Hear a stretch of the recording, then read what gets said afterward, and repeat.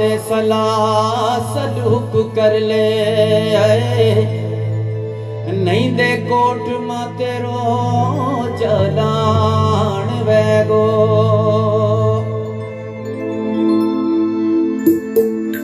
ਨਹੀਂ ਬਾਜ ਵਕੀਲ ਅਪੀਲ ਚਲ ਸੇ।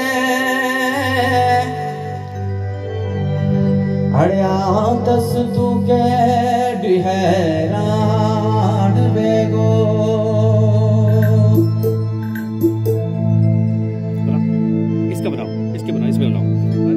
ऐसे बनाओ ऐसे बनाओ ऐसे नहीं ऐसे ऐसे बनाओ। दोनों वहाँ से वीडियो बनाओ। इसके बाद ले लेना आप बाद में आप लेना छोड़ो। कोई डोगी रही होवे कुरान पे हाथ रख सांझे में ईद मनाई होवे।